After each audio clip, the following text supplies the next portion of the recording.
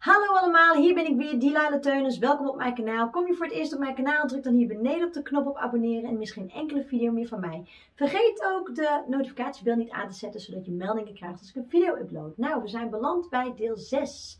En deel 6, ja, ik ga jullie vertellen over uh, de ja, Baal-worshipping, dus uh, Moloch.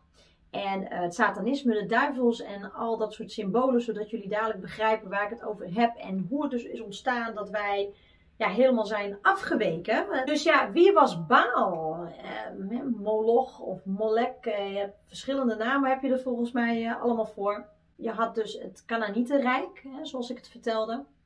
En deze Canaanieten, die, uh, ja, die leefden dus in Israël. En voordat de Israëlieten zeg maar, naar het Cananietenrijk, uh, dat, uh, dat is eigenlijk door Abraham gekomen. Want het was allemaal familie van elkaar. En de Canaanieten komt weer van dat Kaïn, wat ik vertelde. Waar gaat het heen? Maar als je dit dus allemaal zo begrijpt, hm, wat hier dus allemaal gebeurt, dan denk je, ah, that makes sense. Ja, en dan snap je ook waarom ze dus heel onze woorden allemaal hebben verdraaid. En ja dat ze alles hebben, alles hebben verpest eigenlijk. Want we hebben het hier nog steeds over de geheime magische betekenissen achter woorden. Hè? Dus woorden, alchemie. Even kijken. Het Canaanitische Rijk en Baal worshipping. Nou, wie was nou eigenlijk Baal? De mensen vonden het heel erg prettig eigenlijk om een, uh, ja, om een, een, een, afgod te hebben of een poppetje te hebben of een of ander beeld of zo. Een beeldenis is het natuurlijk wat ze vroeger hebben gemaakt. uit steen gehakte beeld.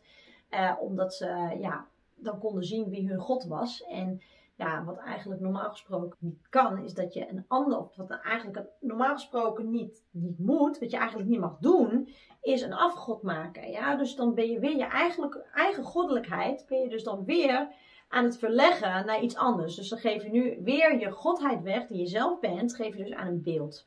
En hier hebben ze dus allerlei rituelen omheen verzonnen. En nou, de meest rare dingen, dat je echt denkt van nou, uh, dit is echt te gruwelijk en te barbaars voor woorden. Hun eigen regels en dingen verzonnen. En dan hebben ze dan gezegd, ja dat zegt ene God. Ja, geloof. Nou, Baal betekende heer. En in deze zin was een Baal de koning onder de plaatselijke goden. Hij werd aanbeden door de Canaanieten, de Feniciërs, de Arameërs, de Carthagers, de aanduiding van Baal werd vaak gevolgd door een eigen naam of een plaats. Nou, dus uh, de aanduiding van Baal werd vaak gevolgd door een eigen naam of een plaatsaanduiding. Zo was er een Baal Hadad, een Baal Melchat, een Baal Moloch, een Baal Zebub. Vele steden en volkeren in Canaan hadden elk hun eigen streekgebonden Baal. Zo ook de Fenicische kolonie, koloniën in Ugarit heette bijvoorbeeld Hadad.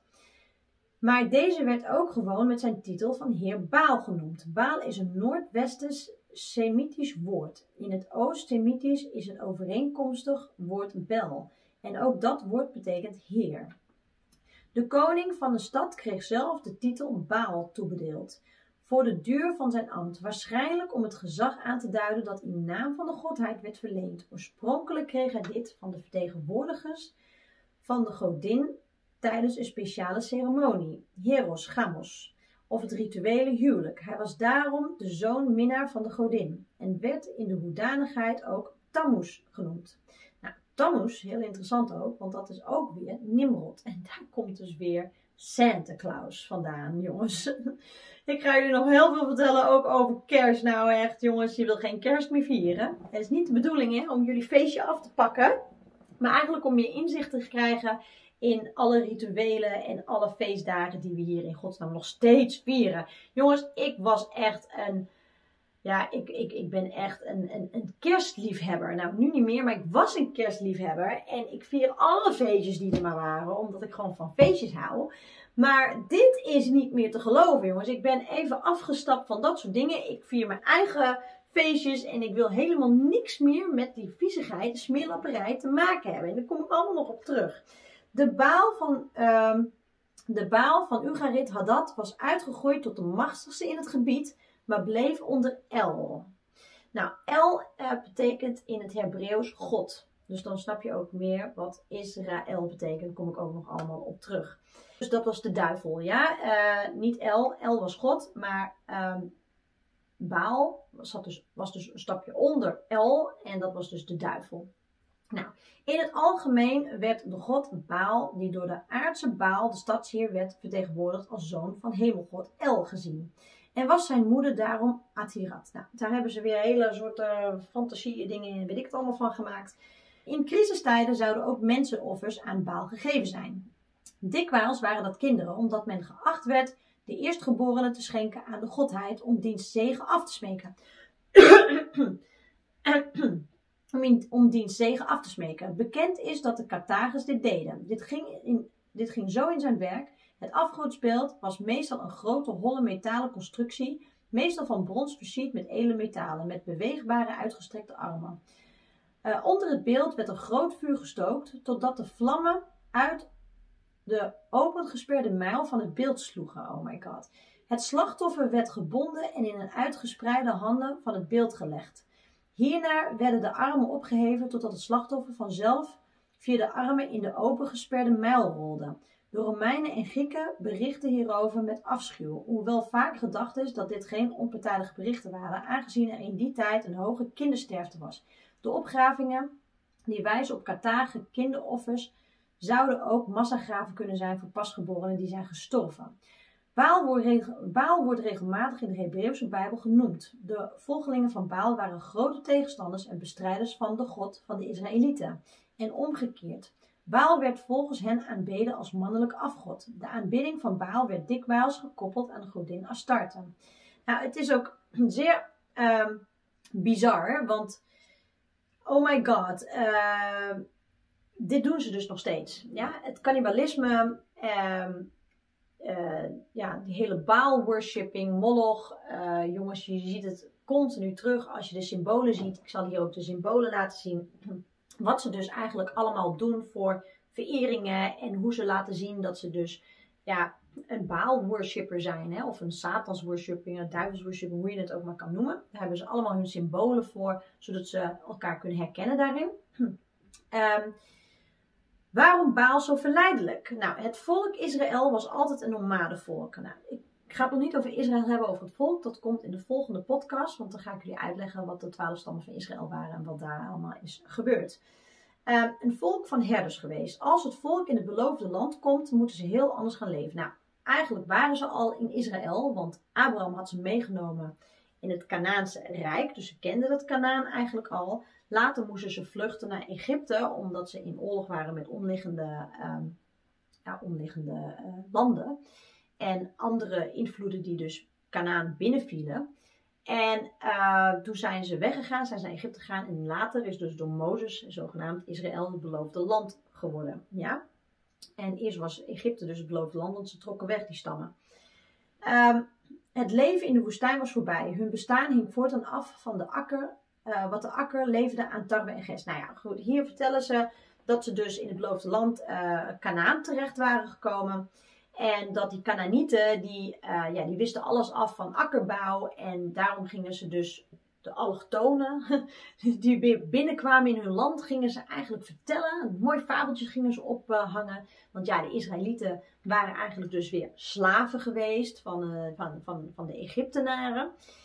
En uh, ja, dat, dat Kanaan, dat, daar kwam ook weer die farao's allemaal vandaan. Dus ja, dat waren dus slaven geweest. Dus die mensen die hadden natuurlijk niet meer zo heel veel educatie uh, gekregen. Maar daar kwam er natuurlijk wel weer Mozes uit voort. En Jezus komen daar ook allemaal weer uit voort. Dus ja, weet je wat ik zeg? Uh, de goddelijkheid en die, die, um, die informatie over het Godenrijk, wat wij allemaal zijn, dat was toen natuurlijk veel dichterbij. Alhoewel die mensen bijna niet eens meer konden lezen, maar de mensen die konden lezen, je konden natuurlijk nog in die bibliotheken, waar die geschriften allemaal opgesteld waren. Want toen hadden ze gewoon die hieroglyphen uh, hoe ze lazen. En natuurlijk was er daarvoor nog het land van Moe, hè, wat ik vertelde. Dus er was altijd al taal, er was altijd al schrift.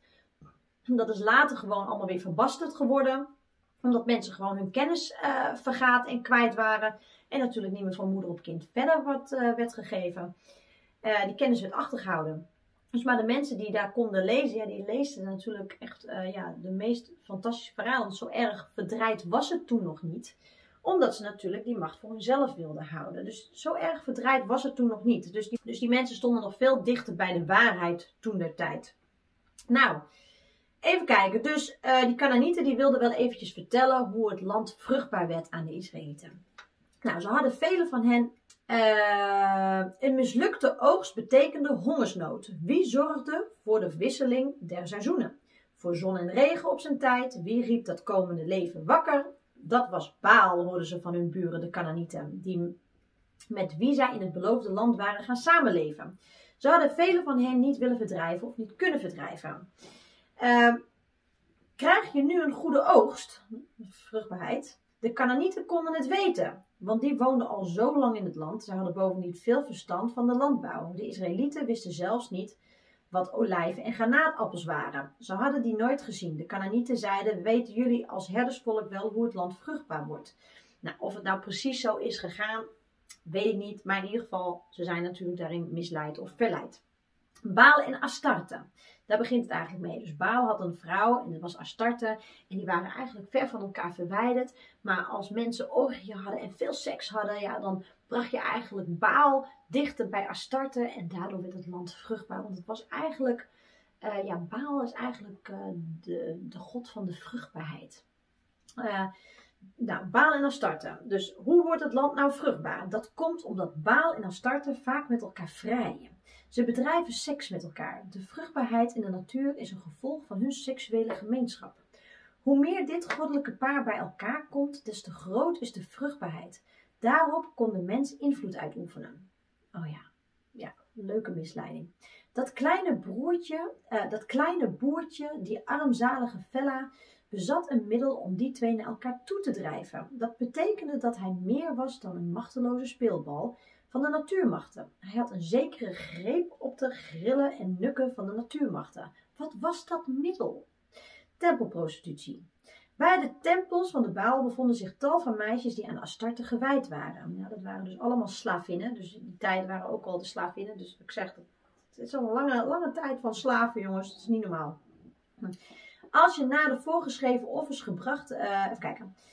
Uh, als je na de voorgeschreven offers gebracht te hebben, je met zo'n meisje afzonderde, dan wekte je daardoor in de baal een heftige op naar zijn vrouw naar Astarte. Nou, echt vreselijk. Dus ze moesten hun eigen kinderen, moesten ze offeren, of deden ze offeren vrijwillig, ja, deden ze offeren aan baal om hun eigen egoïsme, ja, want ja, hun wilden natuurlijk, uh, hoe heet het, zegen krijgen van baal. Want kijk eens, zo groot is mijn vertrouwen dat ik zelfs mijn eigen kind ervoor op ga offeren. En daarom is geloof ook zo'n sterk middel of zo'n machtig middel eigenlijk voor dat soort figuren, ja, deze duistere magiërs, omdat mensen zelfs in staat zijn hun eigen kinderen omwille van één God, ja, op te offeren. Nou, geen enkele liefhebbende God, hè, geloof mijn woorden, geen enkele liefhebbende, geen enkele God die ons gemaakt heeft, ja, er is maar één grote macht en kracht en intelligentie, wat ik zeg, licht, licht, wij zijn lichtbundels, intelligentie, die vernietigend is. Ja, als het een vernietiger is, is het geen God, dan is het de duivel. Dus hier hebben we het niet over een God, een echte God, God. We hebben het hier over de duivel. Dus ik mag het ook geen God noemen. Voor hun noemen ze het God. Het is afschuwelijk. En dan moesten ze hun eigen offers ook nog eens eten. Dat dan ook nog verplicht. Dus dat is het cannibalisme. Wat daar dus niet het cannibalisme is daar weer uit voortgekomen. Dus, uh, en daarna gingen ze, ja, uh, seks, uh, alcohol en drugs en, en orgieën doen. En dat was dan het feest wat na de offerrieten kwam. Nou, en dat is er nog steeds, jongens. En je zal het allemaal uh, doorhebben als je dit allemaal ziet. Nou, uh, bij de tempels van Baal bevonden zich tal van meisjes die aan Astarte gewijd waren. Als je na de voorgeschreven offers gebracht te hebben, je met zo'n meisje afzonderde, dan wekte je daardoor in de Baal een heftige op naar zijn vrouw, naar Astarte. Ja? Dus Baal ging dan vrijen met Astarte en dan kwam er meer vruchtbaarheid. Uh, landbouw en zo. Dan dreef je hem als het ware in de armen van Astarte. We kunnen goed begrijpen dat de Baaldienst een geweldige aantrekkingskracht uitoefende op de Israëlieten. In de Baaldienst waren uh, religie en erotiek op, een fascinerende manier versmolten. Baal was de god van de natuur, de god van de seks, van de vruchtbaarheid, van de welvaart. Nou, dat is natuurlijk ook gigantisch veel um, krijzen. Ik bedoel, je had toen ook, dus met die Baalrieten, nou, dat, dat uh, Bohemian Groove heb je daar ook over. Daar doen ze ook allemaal dat soort rare rituelen. nou ja, in Amerika, overal ter wereld, heb je deze Satans aanbiddingen en rituelen. En dat doen ze dus uh, tijdens hun offerrieten, doen ze heel hard tromgeroffel om het gekrijs van hun offers niet te horen. Ja, om dat te overstijgen. En dan gaan ze helemaal in extase en... Uh, omdat ze zo'n mens natuurlijk uh, horen krijzen. Ja, ik heb uh, wel eens een, buurman gehad um, waar ik hier in Nederland woonde, in Apeldoorn. En dat was een Duitser. En hij was slachter. Dus hij, ja, hij slachtte dieren. En die werd dus letterlijk opgewonden als hij zijn dieren dus slachtte, waardoor ze het gekrijs van de dieren hoorden. Dus echt sadisme. En dat soort mensen heb je dus die daar helemaal lijp van zijn. En nou, vreselijk jongens. Het is echt te gruwelijk voor woorden. Wat voor mensen, dat kan je geen mensen meer noemen. Het zijn gewoon monsters. Duivels inderdaad. Uh, in de baaldiensten waren religie en erotiek op een fascinerende manier versmolten. Baal was de god van de natuur. Ja, nou. Uh, dat, uh, in het Hebreeuws of in bij de Israëlieten noemden ze dat God. En El is eigenlijk God. Maar de God van Israël was de God van de Torah. Nou ja, dat weet je dan wel. Dat heette dus Yahweh, de God van de Torah. Uh, de Torah, ja, als je die dus leest, het is vooral het boek voor de mannen uh, van uh, het Jodendom. En in de Torah staat dus ook letterlijk, hebben ze natuurlijk allemaal misbruikt en verdraaid, jongens. Er is niets van waarheid hierin. Ik heb jullie nou de oorsprong helemaal verteld, waar het goddelijke bewustzijn is ontstaan, dat we allemaal God waren. Um, maar daar staat dus letterlijk in dat je kinderen mag misbruiken tot hun derde jaar, zodat ze nooit tot God kunnen komen en nooit zullen komen. Maar oh my god. Uh, Baal leerde de mensen te leven en zich uit te leven op het ritme van de seizoenen, op het kloppen. Op het kloppen van het bloed. In de Baaltempel moest je natuurlijk wel offers brengen. Maar je kreeg er tenminste iets voor terug. Je kon je lekker uitleven, je kon uit je dak gaan. Yahweh droeg de mensen op een gemeenschap te stichten van orde en recht. Dus zoveel mogelijk zieltjes. Um, te, te, uh, voor te brengen.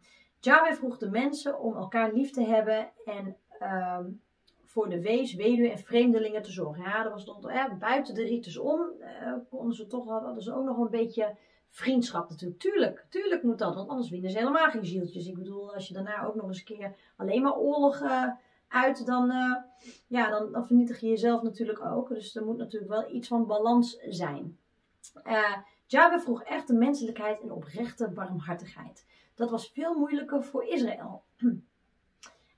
Om altijd maar barmhartig te zijn. En Jabez vroeg de mensen op. Uh, ja, de, de, hè, de God van de Israëlieten, die wilde eigenlijk dat, ja, dat de mensen natuurlijk uh, zich gingen voortplanten en, en lief voor elkaar waren. En natuurlijk ook de wezen en de weduwe en de vreemdelingen zorgen. En ja, die wilde eigenlijk gewoon menselijkheid en oprechte barmhartigheid. Nou, dat was veel moeilijker voor Israël. Dus de Canaanieten vonden de Israëlieten maar erg bekrompen. Velen uit het volk Israël gingen veel liever de Baal dienen. Dus ja, ze wilden eigenlijk niet zorgen voor andere mensen. Ze hadden eigenlijk gewoon geen zin in. Um, Baal kon je zien. Ja, dat is zoiets wat ik dus ook vertelde met die afgoderij. Weet u ook uh, weet je ook wat zo fijn was in de Baaltempels? Je kon Baal tenminste zien. Je wist hoe hij eruit zag. Jahwe was onzichtbaar en mocht je helemaal geen beeld van hem maken om dat te aanbidden. Het tweede aantrekkelijke punt in de Baaldienst was dat je zo heerlijk in extase kon raken. Je kon helemaal uit je dak gaan. Vrij gebruik van seks, alcohol en drugs tegenover de opgewondenheid van het pure heidendom. Stelt de apostel de opgetogenheid van het christelijk geloof. Paulus stelt de diepe en warme vreugde van het christen zijn. Nou, Christus, uh, uh, Paulus stelt de diepe en warme vreugde van het in Christus zijn. Dat is in het licht zijn. Want in het licht ben je altijd in extase van liefde. Ja, en dan voel je altijd heerlijk. In extase van lust, in dit soort dingen, ja, daar heb je hebzucht, egoïsme, woede, kwaadheid, uh, ellende, uh, mensen offeren, ja, cannibalisme, eten. Wat is dit voor gekkigheid allemaal? Um, nou ja, tegenover de platvloerse lol, dus in het christen zijn is, is gewoon fantastisch. In, in het licht zijn. En Christus is dus niet de achternaam van Jezus, jongens. Dat betekent het licht. Tegenover de platvloerse lol van het naakte heidendom die altijd weer in de baaltempels zich breed maakte. Tijdens de dienst dansten en sprongen de vreemde, uitgedoste priesters krijzend en schreeuwend om de altaren heen om de aandacht van Baal te krijgen. Oh my god. Erkenning. Oh, ik wil erkenning. Um, um, um, Soms sneden zij zich met messen, ze raakten op die manier in extase. Er werd ontzettend veel wierook verbrand, brandoffers gebracht op de hoogten en er werden regelmatig offers van volwassenen en kinderen gebracht. Ik kan mij voorstellen dat de God Heer woedend werd, want Israël was toch zijn bruid en nu ging het afhoereren met heidense goden. Baal was vreed en allesbehalve barmhartig en genadig zoals de Heer. Er is geen enkele compromis mogelijk tussen de dienst van God en het dienen van Baal. Of Baal is God of de Heer is God. Een van de Baals was Baal Zebub, de vliegend god. Zo noemden ze het eigenlijk. Uh, de Joden maakten ervan Baal Zebul. En ook wel eens de Bul genoemd. En um, ja, Moloch, uh, Baal, allemaal dat soort dingen, en gezegdes. Dus ja, het satanisme is hetzelfde. Hier zie je allerlei symbolen die ze gebruiken. Hoe ze dus ja, zichzelf kenbaar maken. Waar je het aan kan herkennen dat uh, het nog steeds onder ons is. In de muziekindustrie, in de filmindustrie. Uh, het, het, het is, je, je kan het zo gek niet bedenken. Het is te gruwelijk voor woorden uh, waar het allemaal in is. En ook al die royalties die dus allemaal ja, gemeenschap met elkaar hebben. Dus eigenlijk met hun eigen familie. Het hele incestverhaal. Hun moesten ook hun eigen ja, bloedverwanten ja, allemaal vreemde dingen meedoen. En allemaal nog trouwen met, met, met dat soort familieleden. Uh, om het in de familie te houden. Ja, en dat noemden ze dan blauw bloed. Uh, Maxima is 98 van Willem-Alexander. Dus het is allemaal familie, jongens. En dat weten heel veel mensen niet. En wat ook nog blijkt te zijn, is dat uh, Merkel dus een kind of kleinkind moet zijn van Hitler. En dat Hitler helemaal niet is omgekomen. Want ja, zoals we nu ook weten, zijn er heel veel klonen die er rondlopen. Van alles en iedereen. En dat je ook gewoon een bedrijf hebt dat Clonahit heet. Clonahit zit op de Bahamas. En um, ja, daar kun je gewoon een kloon van jezelf laten maken. Dat is helemaal geen geheim.